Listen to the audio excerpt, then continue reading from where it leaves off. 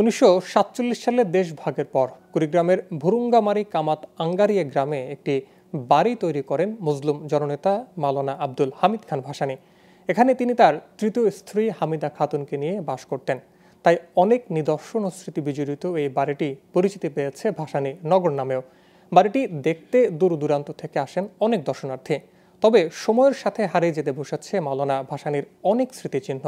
কুড়িগ্রাম থেকে রাশেদুজ্জামান তাহিদের তথ্যচিত্রে desk report রাজধানী কি যাওয়ার সময় হবে কুড়িগ্রামের ভুরুঙ্গামারিতে জরাজীর্ণ পড়ে আছে মজলুম জননেতা মাওলানা ভাসানীর এই বাড়ি। উনিশশো পঁয়ষট্টি সালে ভুরুঙ্গামারিতে কৃষক সম্মেলনকে ঘিরে তিন মাস এই বাড়িতে ছিলেন মাওলানা ভাসানী। এ সময় দরবার হল মুসাফিরখানা মসজিদ মাদ্রাসা বিদ্যালয় ছাড়াও নিজ হাতে একটি পুকুর খনন করেন তিনি। বর্তমানে বাড়িটিতে বাস করছেন মাওলানা ভাসানীর নাতি মনিরুজ্জামান খান ভাসানী। ইতিহাসের পাতা থেকে জানা যায় উনিশশো উনসত্তর সালে গণ অভ্যুত্থান ও উনিশশো একাত্তর সালে মুক্তিযুদ্ধে মাওলানা ভাসানীর এই বাড়িটির রয়েছে অনেক অবদান। এখানে আমরা একটা পাঠাগার করতে চাই একটা জাদুঘর করতে চাই ওনার কিছু ব্যবহৃত জিনিস আছে সে- তা দিয়ে আমরা একটা জাদুঘর করব এবং একটা মুসাফিরখানা করতে চাই। আমার বাবা মৌলানা ভাসানী হুজুরের একজন বিশিষ্ট ভক্ত ছিলেন এবং এই বাড়ির তিনি এক সময় ম্যানেজার ছিলেন দীর্ঘ সময়। সেই সুবাদেই আসাম দেশ থেকে এই তদানীন্তন পূর্ব পাকিস্তান এবং বাংলাদেশে ওতপ্রোতভাবে আমাদের পরিবারটা ভাসানী হুজুরের পরিবারের সাথে সংশ্লিষ্ট।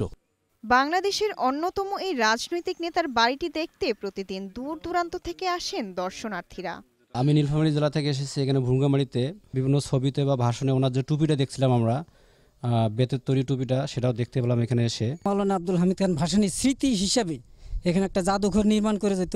তাহলে হয়তো এই এলাকার জন্যে এবং বাংলাদেশের জন্যে এখানে যারাই আসুক এটা দেখতে পায় হয়তো অনেক কিছু শিকার ছিল। মাওলানা ভাসানীর নামে এই বাড়িতে স্মৃতি সংগ্রহশালা তৈরি করা হলে প্রয়োজনীয় সহযোগিতা দেওয়ার আশ্বাস দিয়েছেন জেলা প্রশাসক। ওনারা যদি সদাশয় সরকারের কাছে কোনো সহায়তা চান এটি করবার বিষয়ে। সেরকম কোনো আবেদন নিবেদন যদি আমরা পেই তাহলে সরকারের তরফ থেকে প্রয়োজনীয় সহযোগিতা প্রদান করা হবে। মাওলানা ভাসানির এই বাড়িটি সংস্কার ও স্মৃতি সংগ্রহশালা তৈরি হলে এটি ঐতিহাসিক পর্যটন কেন্দ্র হিসেবে শিক্ষার্থী ও গবেষকদের প্রয়োজন মেটাবে বলে মনে করেন বিশিষ্ট জনরা গ্লোবাল টেলিভিশন, নিউজ ডেস্ক।